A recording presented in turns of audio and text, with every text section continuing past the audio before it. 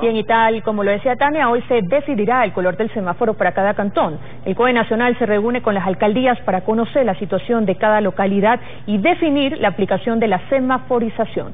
Alex Ceballos preparó un informe.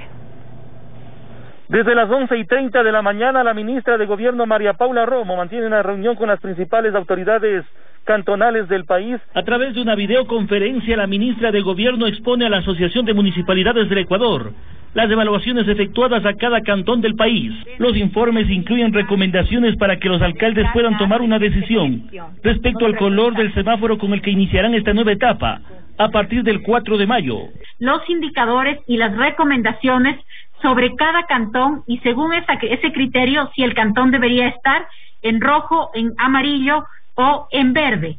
Con esa información, los municipios y con todo el acompañamiento que requieran podrán tomar su decisión. En el caso de Quito, el Consejo Municipal anticipó este martes que su decisión es que la ciudad adopte el semáforo rojo.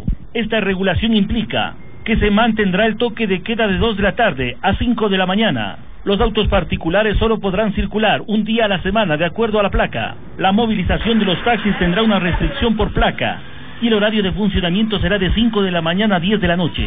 La jornada laboral presencial se mantendrá suspendida para instituciones públicas y privadas. Se autoriza que las actividades comerciales sean con envíos a domicilio y se extenderá el horario de entregas de 7 de la mañana a 10 de la noche. De esta manera, la ministra de Gobierno desde las instalaciones del ECU 911 de la ciudad de Cuenca mantiene esta reunión virtual con las principales autoridades cantonales del país.